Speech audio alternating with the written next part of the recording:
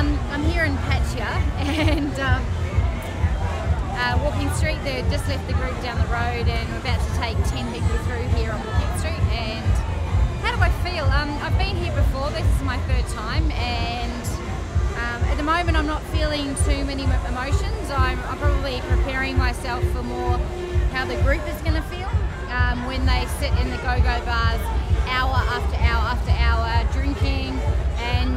really watching these beautiful young girls and and um, yeah especially the young ones that are, are, children. I as soon as I see those young children I know that my heart is going to really hurt and yeah right now I'm feeling a little bit neutral.